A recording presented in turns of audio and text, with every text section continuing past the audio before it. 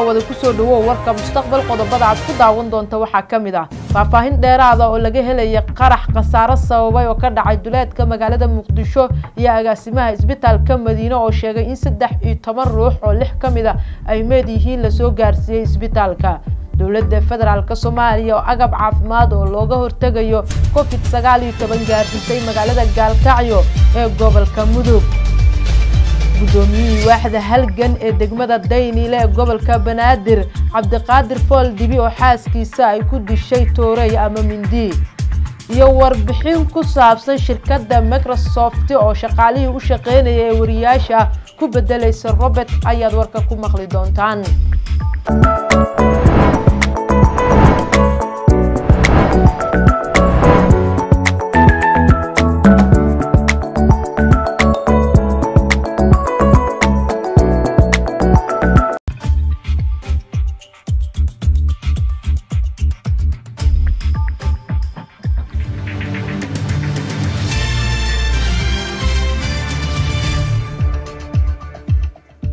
hagaag daawade haatanna ku soo dhawow warkii oo intaasi ka xog ballaaran.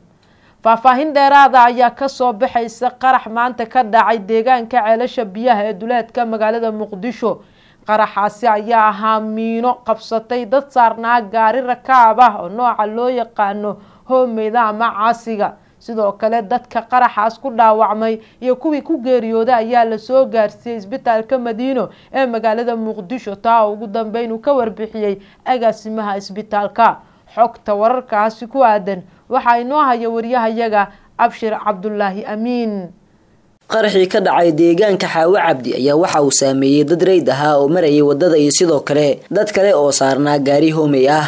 Mid ka mid ah dadkii uu eheladooda saameeyey ayaa warbaahinta la hadlay asagoo sharxay dhibka dhacay iyo hindhihiisa waxa uu ku arkay. Qofka gooriyooda ina ilahi wa ina ilaihi raajiun qofka oo walaalkay waaye maxamed maxamuud maxamed waaye in badan baa wadadan ku shaqaysan jiray. Waa bialey waaye waxaa ku shaqayn jiray xamar iyo wanlaweyn ayaa ku shaqaysan jiray. Subax kastoo bixi jiray hadda saaka waa laba iyo tobankii akis control afgoy ka baxay. Wuxuuna u socday wanlaweyn baa u socday. Hadda qadar tarbiya ku timid gaariga soo socda ayaa miina la kacday qarax baa ku dhacay gaarigii. Gaari dhammaan waa burbur intii saarneed waa burburtay. Bal alxamdulillah ilah baa ku mahadsan waa waa ilahay xamdigiisa waay ilahay lagu xamdiyaa fiican. Dad islaam baa nahay muslimiin ah. Mar qadar rabbi waa aqoonsanay qadar rabbiya ku dhacday. Ilahay ha u naxariiso narisdina allah siiy والله باور أنا جوب جوج مهان من صارنين لكن وحال إيش هذا طويل صار أفضل ليش إن جاري صارنين ذي. الحمد لله أنت بواحد قدرت تبي أكو تمت إلهي جنف رزق الله كورابي لما أنصر إيمان الله نقصي. يا واحد قبل أنا مشي كري جوب جوج مهان جاري صار سوق هذي. Agaasimaha isbitaalka madiine ee magaalada muqdisho doctor maxamed yuusuf oo warbaahinta la hadlay dhankiisa waxa uu ka waramay xaaladda dhaawacyadii la soo gaarsiiyey ee ka midka ahaa dadkii ku waxyeelooway qaraxii ka dhacay deegaanka xaawo cabdiduleedka muqdisho agaasimaha ayaa waxa uu tilmaamay in dhaawacyadii la soo gaarsiiyey qaar ka mid ay ku jiraan xaalad koomaha halka kuwo kalena ay xaaladooda caadi tahay. Badi dadkii la soo gaarsiiyey ayaa waxa uu sheegay inay qabaan dhaawacyo madaxa ah taas oo keentay in ay qaarkood miir dawoolmaan waxa uu intaasi ku daray in dhowr qof oo meyd ah sidoo kale isbitaalka la soo gaarsiiyey. Oo yacni badina u badnaayeen madaxa inay ka dhaawacnaayeen. Saadadan u tagnay waa xilinay waa daaweynay lixna waxaana la kugu keenay meyd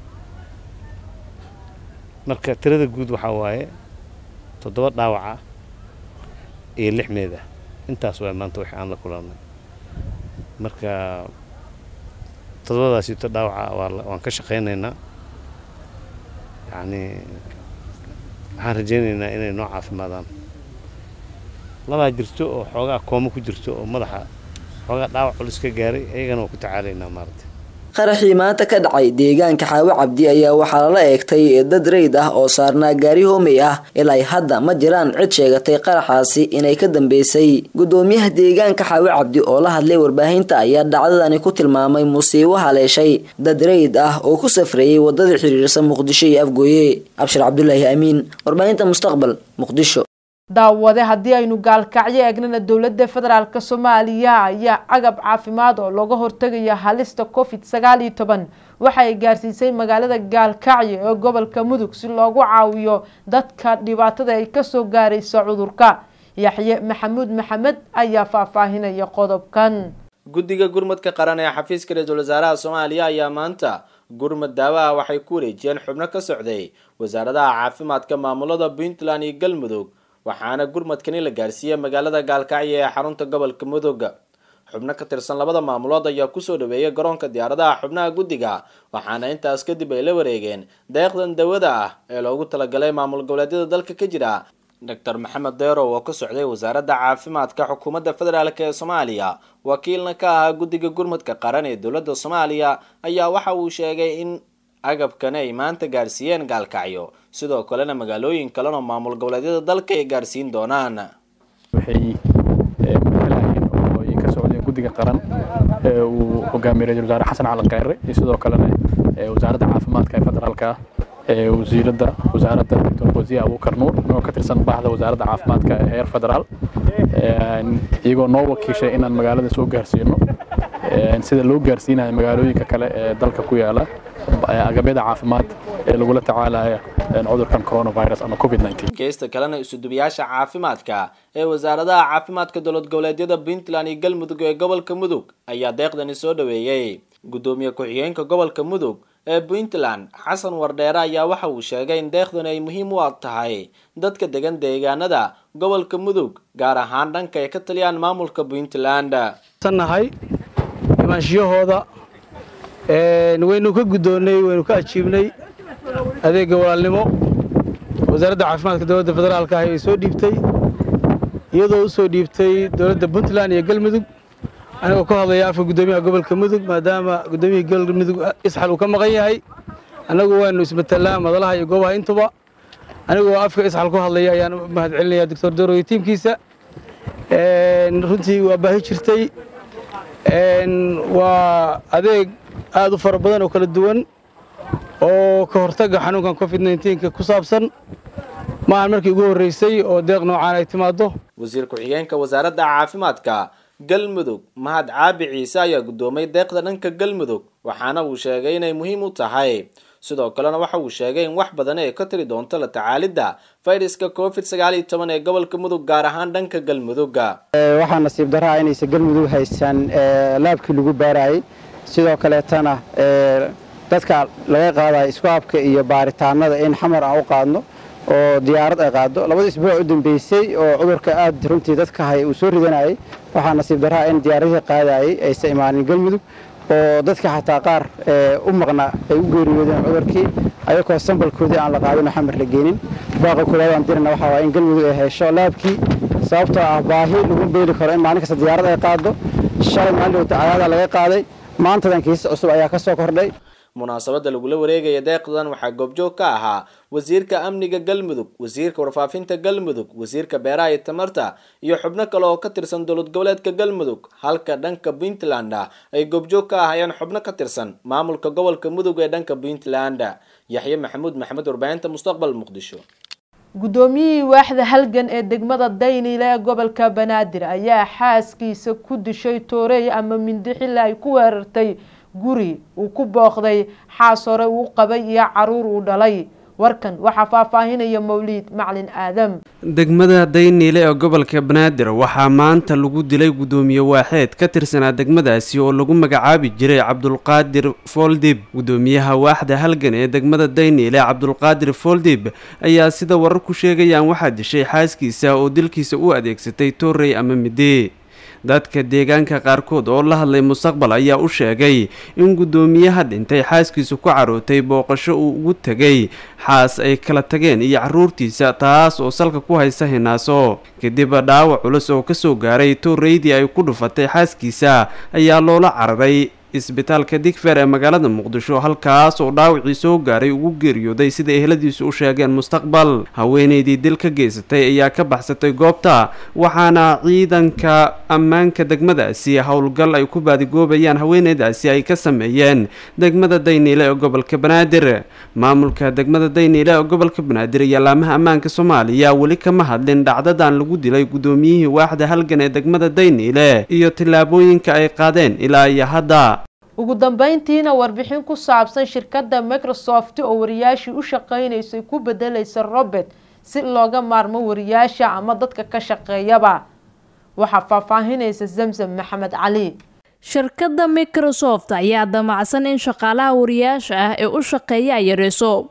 Beddelkoodu waxa ay gelinaysaa mashiinada sida dadka oo kale u shaqeeya ee ribadka loo yaqaano sida warbaahinta maraykanka iyo ingiriiska ay soo wariyeen arrintan ayaa saameynaysa shaqaalaha aan joogtada ahayn ee shirkadda kula jira qandaraaska gaar ahaan wariyaasha shabakadda m s n ka howlgala oo tir ahaan aada u badan. Shaqada wariyaashan ayaa ah inay ururiyaan wararka ciwaano u sameeyaan sheekooyinka ay ka hadlayaan sawiro saaraan emerson oo ay microsoft leedahay sida ku cad xogta loo dudsiyey warbaahinta maraykanka ingiriiska oo ay soo bandhigeen satellite news waxa ay sheegtay in wixii hadda ka dambeeya shaqooyinkii ay wariyaasha u qaban jireen m s n loo weecin doono mashiinada laga matelay bani-aadamka ee loo arko inay buuxin karaan kaalinta qofka ee ribodka loo yaqaano. Shirkadda microsoft durbo waxa ay la kulantay eedeyn ka dhana tallaabada ay doonayso in ay ku dhaqaaqdo waa ayna ka jawaabtay iyada oo sheegtay in qorshahan uusan shaqo la'aan dhigi doonin dadka ku xiran. Howlshaqeedka shirkadda si la mid ah shirkadaha caalamka ka jira mar waliba ganacsigeena qiimeyn ayaan ku samaynaa. Taasi waxay naga caawinaysaa in aan maalgashiga ganacsiga qaar aan kordhino. Shaqaalaha qaarkood waxaa dhici karta halka ay ka shaqaynayeen in laga wareejiyo oo goob kale la geeyo. Ayaa lagu yiri warka ka soo baxay shirkadda microsoft mas'uuliyiinta shirkadda waxay sidoo kale meesha ka saareen in go'aankan uu ka dhashay saameynta taban ee covid sagaal iyo toban balse microsoft ayaa ku tilmaantay warkaasi in lagu marhabaabinayo qorshaha cusub oo ay qaadanayso in ay ku sameyso isbeddel shaqadeeda. Microsoft si la mid a shirkadaha tiknolojiyadda ee caalamka ka jira waxay howlgelisaa wariyaal shirkadda wararka u qora kuwaas oo go'aansanaya wararka ay tobinayaan iyo halka ay u gudbinayaan. Tijaabadan waxaa la sameynayaa bisha juun oo caawo saq dhexe isbedelaysa waxaana la dhimayaa wariyaasha qaarkood oo muddo dheer gacanta ku hayay. Xogta shirkadan inkasta oo maamulka microsoft ay sheegayaan in meel kale loo weecinayo. Sadia nadela oo ah madaxa guud ee shirkadda microsoft waxa uu xilkan la wareegay afartii febraayo ee sannadkii labadi kun iyo afar iyo tobankii tan iyo xilligaasi isbeddel ayuu ku sameynayay habshaqeynta shirkaddan shirkadda microsoft waxaa la aasaasay afartii abril sannadkii kun sagaal boqol iyo toddobaatan iyo shantii waxaana lagu aasaasay gobolka new mexico ee dalka maraykanka daraasad la sameeyey sannadkii labadi kun iyo sagaal iyo tobankii waxaa hantida microsoft lagu sheegay boqol labaatan iyo shan dhibic sideed bilyan oo dollar. Microsoft waxa ay ka mid tahay shirkadaha uga caansan adduunka sidoo kale kaalin sare ayay ka gashay kuwa leh dhaqaalaha badan ee ka faa-iideysta wax soo saarka gudaha iyo dibadda iibgeynta agabka ay caanka ku tahay iyo la dhaqanka macaamiisha ku xiran. Zamzam maxamed cali mustaqbal muqdisho. Guud ahaan daawade waa inaga intaas warkii oo idinkaga imaanaya mustaqbal. Anigoo nasriin ayaa idiin waramayey idinkuse waad ku mahadsantihiin daawashadii la socodka warkayaga